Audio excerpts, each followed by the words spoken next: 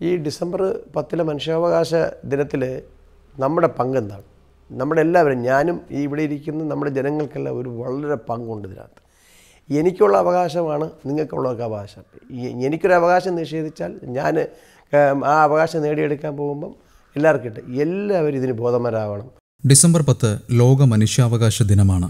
ഐക്യരാഷ്ട്രസഭ സാർവദേശീയ മനുഷ്യാവകാശ പ്രഖ്യാപനം അംഗീകരിച്ചതിന്റെ ഓർമ്മ പുതുക്കൽ എന്നതിലുപരി തങ്ങളുടെ അവകാശങ്ങളെക്കുറിച്ച് ലോകത്തിലെ ഓരോ മനുഷ്യനും ബോധവാന്മാരാകേണ്ടതിന്റെ ആവശ്യകത കൂടിയാണ് ഡിസംബർ പത്ത് ഓർമ്മിപ്പിക്കുന്നത്. ഒരാൾക്ക് നിഷേധിക്കപ്പെടുന്ന അവകാശം പൊതുസമൂഹത്തിന്റെ കൂടി അവകാശങ്ങളുടെ ലംഘനമാണെന്ന് വിലയിരുത്തപ്പെടുന്നു. ആ വിശ്വാസത്തിലൂന്നിയ പ്രവർത്തനങ്ങളിലൂടെ മനുഷ്യാവകാശങ്ങളുടെ കാവലാളായി മാറിയ ജീവിതമാണ് ഹരികുമാറിന്റേത്. ചുറ്റുമുള്ളവർക്ക് സംഭവിക്കുന്ന നിഷേധങ്ങൾ കണ്ടുനിൽക്കാൻ കഴിയാത്തതുകൊണ്ട് തന്നെ മനുഷ്യാവകാശ സംരക്ഷണത്തിനായി ഏതറ്റം വരെയും പോകാൻ ഈ തിരുവനന്തപുരം സ്വദേശി സദാ സജ്ജനാണ് മനുഷ്യ മസ്തിഷ്കത്തെ കാർന്നു തിന്നുന്ന മെനിഞ്ചൈറ്റിസ് എന്ന മാരക രോഗം പരത്തുന്ന ആഫ്രിക്കൻ ഒച്ചു മുതൽ അമേരിക്കൻ മാവ് എന്നറിയപ്പെടുന്ന മൈദയ്ക്കെതിരായ പോരാട്ടം വരെ നീളുന്നതാണ് ഹരികുമാറിന്റെ മനുഷ്യാവകാശ പ്രവർത്തനങ്ങൾ. ആഫ്രിക്കൻ ഒച്ചുകളിൽ നിന്ന് മനുഷ്യരിൽ തലച്ചോറിനെ ബാധിക്കുന്ന മാരക രോഗങ്ങളുണ്ടാകുമെന്ന പഠന റിപ്പോർട്ട് ഞെട്ടിക്കുന്നതായിരുന്നു. ഇസ്നോഫില്ലിക് മെനഞ്ചൈറ്റിസ് എന്ന രോഗമാണ് ഇവ പരത്തുക. തിരുവനന്തപുരത്ത് ഒരു വീട്ടമ്മ മരിക്കാനിടയായ സാഹചര്യം ആഫ്രിക്കൻ ഒച്ചിന്റെ ശരീരദ്രവം തലച്ചോറിൽ എത്തിയതിനെ തുടർന്നാണെന്ന് കണ്ടെത്തുകയുണ്ടായി. ഇതിനെ തുടർന്നാണ് ആഫ്രിക്കൻ ഒച്ചിനെ പൂർണമായും കേരളത്തിൽ നിന്ന് നിർമ്മാർജനം ചെയ്യണമെന്ന ആവശ്യവുമായി രണ്ടായിരത്തി പതിനഞ്ചിൽ സംസ്ഥാന മനുഷ്യാവകാശ കമ്മീഷനെ താൻ സമീപിക്കാൻ ഇടയാക്കിയതെന്ന്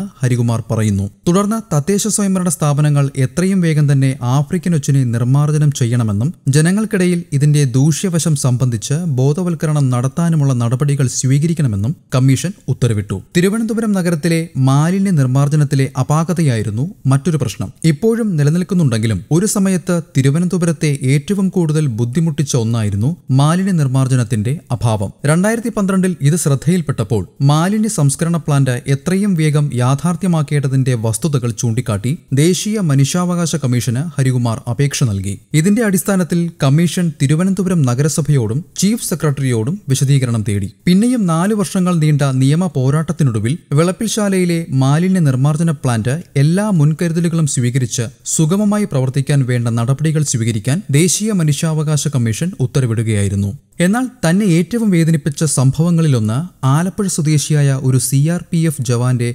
മരണമായിരുന്നുവെന്ന് ഹരികുമാർ ഓർമ്മിക്കുന്നു. കിണറ്റിൽ വീണ് മരിച്ചു എന്നായിരുന്നു വാർത്ത. മരണത്തേക്കാൾ വേദന നൽകിയത് അദ്ദേഹത്തിന്റെ മൃതദേഹത്തോട് കാണിച്ച അനാദരവായിരുന്നു. പ്ലാസ്റ്റിക് കവറിൽ അഴുകിയ നിലയിലാണ് ഭൗതികദേഹം നാട്ടിലെത്തിച്ചത്. ഇതിൽ അടിയന്തരമായി ഇടപെടണമെന്നാവശ്യപ്പെട്ട് ദേശീയ മനുഷ്യാവകാശ കമ്മീഷനെ താൻ സമീപിച്ചു. വാട്ടർ ടാങ്കിൽ വീണു മരിക്കാനിടയായ സാഹചര്യം മൃതദേഹം അഴുകാനുണ്ടായ സാഹചര്യം എന്നിവയിൽ വിശദമായ അന്വേഷണം വേണമെന്ന് കാണിച്ചായിരുന്നു ഹരികുമാർ അപേക്ഷ നൽകിയത്. പരാതി അടിയന്തരമായി പരിശോധിച്ച കമ്മീഷൻ കേന്ദ്ര ആഭ്യന്തര മന്ത്രാലയം സി ഡയറക്ടർ എന്നിവർക്ക് കത്ത് നൽകി. ഛത്തീസ്ഗഡിൽ വെച്ചാണ് സംഭവം നടന്നതെന്ന് അന്വേഷണത്തിനൊടുവിൽ കണ്ടെത്തി. മൃതദേഹം സൂക്ഷിക്കാനുള്ള ശീതീകരണ സംവിധാനത്തിന്റെ അഭാവവും ഹെലികോപ്റ്ററിന്റെ ലഭ്യതക്കുറവുമാണ് കാരണമായി പറഞ്ഞത്. ഒടുവിൽ ഛത്തീസ്ഗഡ് ജില്ലാ മെഡിക്കൽ ഓഫീസറെ സസ്പെൻഡ് ചെയ്യുന്ന നിലയിലേക്ക് കാര്യങ്ങളെത്തി. തുടർന്ന് ബന്ധപ്പെട്ട അധികാരികളുടെ ഭാഗത്തു നിന്നുണ്ടായ വീഴ്ചയാണ് ജവാന്റെ മരണത്തിനും മൃതദേഹത്തിന്റെ അനാദരവിനും കാരണമെന്ന് കണ്ടെത്തിയതോടെ സി ആർ പി എഫിന് എവിടെയെല്ലാം വാട്ടർ ടാങ്കുകളുണ്ടോ അവിടെയെല്ലാം അവ സുരക്ഷിതമായി മൂടിയിരിക്കണമെന്ന്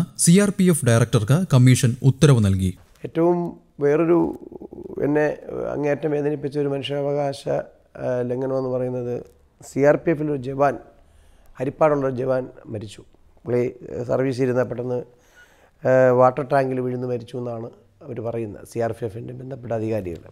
അപ്പോൾ എന്തു തന്നെ അതിനാലും ആ മരിച്ച ജവാന്റെ മൃതശരീരം ഒരിക്കലും ഒരു ലോകത്തും ഒരു നടക്കാൻ പാടില്ലാത്ത തരത്തിൽ ആ അയാളുടെ ആ ജവാന്റെ മൃതശരീരം വളരെ അഴുകി ചീഞ്ഞളിഞ്ഞ് അഴുകി ഒരു ഒരു പ്ലാസ്റ്റിക് കവറിലാക്കിയാണ് അരിപ്പാടുള്ള അദ്ദേഹത്തിന്റെ വീട്ടിലെ ആ, അദ്ദേഹത്തിന്റെ കുട്ടി ഭാര്യയുടെയും കുട്ടികളുടെയും അടുത്ത് കൊണ്ടെത്തിച്ചത്. അതൊരു വലിയ ഒരിക്കലും സംഭവിക്കാത്ത പാടിലായിരുന്നു.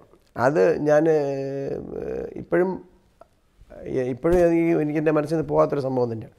ഞാനത് വളരെ ഗൗരവമായി എടുത്തുകൊണ്ട് അടിയന്തരമായി കാരണം ഇത് ദേശീയ തരത്തിലുള്ളൊരു വിഷയമാണ് ദേശീയ മനുഷ്യാവകാശ കമ്മീഷൻ അടിയന്തരമായി സമീപിച്ചു. എന്തുകൊണ്ടാണ് ഇതെങ്ങനെ സംഭവിച്ചത്? ഈ മൃതശരീരം അഴുകാനുണ്ടായ കാരണമെന്താണ്? ഈ എന്ത് എങ്ങനെയാണ് വാട്ടർ ടാങ്കിൽ വീഴുന്നത്? അതിനെ സംബന്ധിച്ച് വിശദമായ അന്വേഷണവും മറ്റു കാര്യങ്ങൾ ആവശ്യപ്പെട്ടുകൊണ്ട് ദേശീയ മനുഷ്യാവകാശ കമ്മീഷനെ സമീപിച്ചു.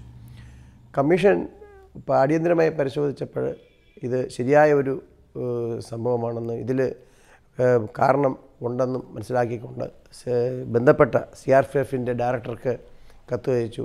ആഭ്യന്തര കേന്ദ്ര ആഭ്യന്തര മന്ത്രാലയത്തിന് കത്തയക്കുകയും ചെയ്തു.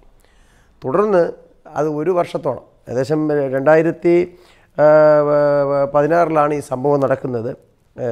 അരിപ്പാടുള്ള അച്ഛൻ കുഞ്ഞെന്ന് പറയുന്നൊരു അരിപ്പാടുള്ള അച്ഛൻ കുഞ്ഞെന്ന് പറയുന്ന ഒരു പിന്നെ ഒരു സി ആർ പി എഫ് ജവാനാണത്.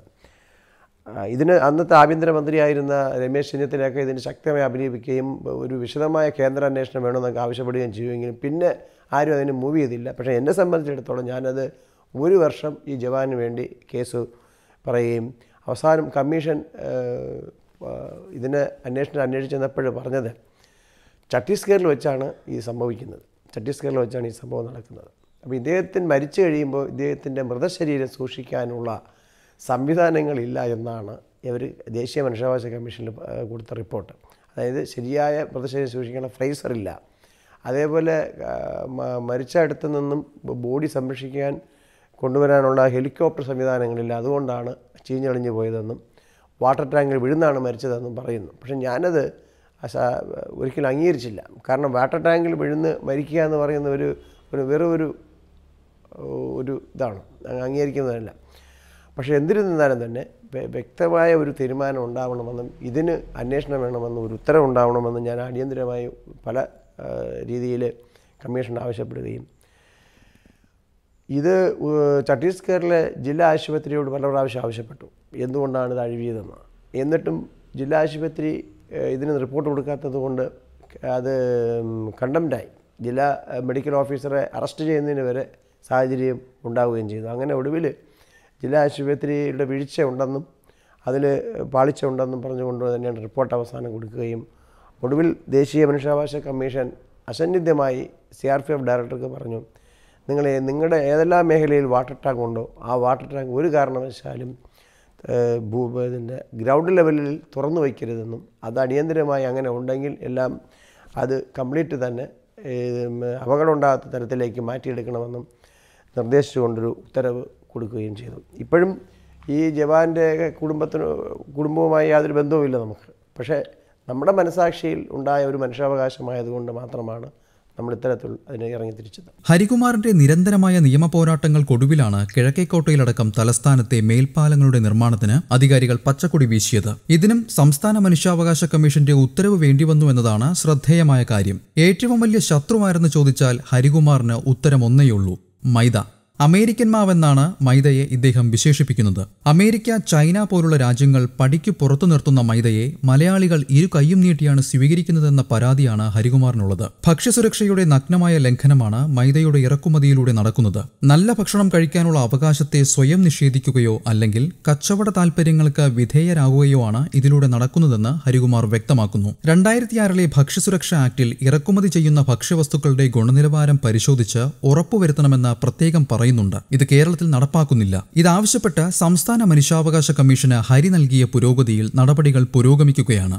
മനുഷ്യാവകാശ ദിനം ഒരു ദിവസത്തെ ആചാരമായി മാറേണ്ട ഒന്നല്ലെന്നും ഒരാൾ നേടിയെടുക്കുന്ന അവകാശത്തിന്റെ ഗുണം അനുഭവിക്കുന്നത് അയാൾക്ക് ചുറ്റുമുള്ള സമൂഹമാണെന്നും ഹരി ഓർമ്മിപ്പിക്കുന്നു. നിഷേധിക്കപ്പെടുന്ന അവകാശങ്ങൾ പുനഃസ്ഥാപിച്ചെടുക്കാൻ ഏതൊരാൾക്കും സാധിക്കും. ഒരു അഭിഭാഷകന്റെ സഹായം പോലും ഇതിനാവശ്യമില്ല. ദേശീയ സംസ്ഥാന മനുഷ്യാവകാശ കമ്മീഷനുകളെ ജനങ്ങൾ വേണ്ട വിധത്തിൽ ഉപയോഗിക്കണമെന്നാണ് സ്വന്തം ജീവിതത്തിലൂടെ ഹരി പറയുന്നതും കാണിച്ചു തരുന്നതും. നമ്മളെ ചുറ്റിലും നടക്കുന്ന സംഭവങ്ങൾ അല്ലെങ്കിൽ ഇപ്പോൾ പൊതു സമൂഹത്തിൽ നടക്കുന്ന സംഭവങ്ങളെല്ലാം നമ്മുടെ ജനങ്ങൾ ബോധവരാവുകയും ഒരു എനിക്ക് പറയാനുള്ളത് ഒരു വക്കീലിന്റെയോ ആരുടെയും സഹായമല്ലാതെ ഒരു വെള്ള പേപ്പറിൽ നമ്മുടെ ചുറ്റിലും നമുക്ക് നിഷേധിക്കുന്ന അവകാശങ്ങളെ വളരെ സ്വതന്ത്രമായും നീതിയുക്തമായും വളരെ സന്തോഷമായും നമുക്ക് കമ്മീഷനെ സമീപിക്കാൻ ഓരോ ജനങ്ങളും മുന്നോട്ട് വരികയാണെങ്കിൽ നമുക്ക് നിരവധി നിരവധി നമ്മുടെ അവകാശങ്ങൾ നേടിയെടുക്കാൻ സാധിക്കും. ഇതിന് ഒരുപാട് സമയമൊന്നും വേണ്ടി വരില്ല. നമുക്കറിയാം നമ്മുടെ ഇപ്പം വിവിധ മനുഷ്യാവകാശ സംഘടനകളുണ്ട് വിവിധ റെസിഡൻസ് അസോസിയേഷനുകളുണ്ട് മറ്റ് സംഘടനകളുണ്ട്. അവർ ചെയ്യുന്നത് പോലെയും മറ്റു നമുക്ക് തന്നെ ഓരോ വ്യക്തിക്കും സമൂഹത്തിന് ഗുണം ചെയ്യുന്ന രീതിയിൽ മനുഷ്യാവകാശം സംരക്ഷിക്കാൻ പറ്റും. അതിന് നമ്മളെല്ലാവരും മുന്നോട്ട് വരണം. ഇതിന് യാതൊരു തടസ്സവുമില്ല. വളരെ നമുക്ക് തന്നെ നമ്മളെ ചുറ്റിലും നടക്കുന്ന മനുഷ്യാവകാശ ലംഘനങ്ങളെ സംബന്ധിച്ച് നേരിട്ട് ചെന്ന് പറയുന്നതിന് വേണ്ടി നമുക്ക് റിപ്പോർട്ട് കൊടുക്കുന്നതിന് വേണ്ടി ദേശീയ മനുഷ്യാവകാശ കമ്മീഷനുണ്ട് സംസ്ഥാന മനുഷ്യാവകാശ കമ്മീഷനുണ്ട് മനുഷ്യാവകാശ കോടതികളുണ്ട് മറ്റെല്ലാ ആക്ട് നയ- നയ- നിയമവശങ്ങളുണ്ട്. അതിന് നമ്മൾ വളരെ വളരെ മനസ്സിരുത്തിക്കൊണ്ട് നമ്മൾ ജനങ്ങൾ മുന്നോട്ട് വരികയാണെങ്കിൽ തീർച്ചയായിട്ടും നമുക്ക് ഒരുപാട് ഒരുപാട് മനുഷ്യാവകാശങ്ങൾ സംരക്ഷിച്ചെടുക്കാൻ നമുക്ക് നേരത്തെ പറഞ്ഞതുപോലെ കുടിവെള്ളത്തിനൊക്കെ വേണ്ടി കുടിവെള്ളം സ്വകാര്യ കമ്പനിക്ക് ഏൽപ്പിച്ച ഒരു രാജ്യമാണ് നമ്മുടെ ഇംഗ്ലണ്ട്. അവിടെയൊക്കെ പെട്ടെന്നാണ് ജനങ്ങൾ ഇറങ്ങി തിരിച്ച് സമരത്തിന് വേണ്ടി. അതുപോലെ എല്ലാവരും ഈ ഈ ഡിസംബർ പത്ത് മനുഷ്യാവകാശങ്ങൾ ഉൾക്കൊണ്ടുകൊണ്ട് ബോധവാന്മാരായിക്കൊണ്ട് എല്ലാവരും ഇതിനുവേണ്ടി തയ്യാറാവണമെന്നും എന്നാണ് എനിക്ക് ഇതിനോടൊപ്പം പറയാനുള്ളത്.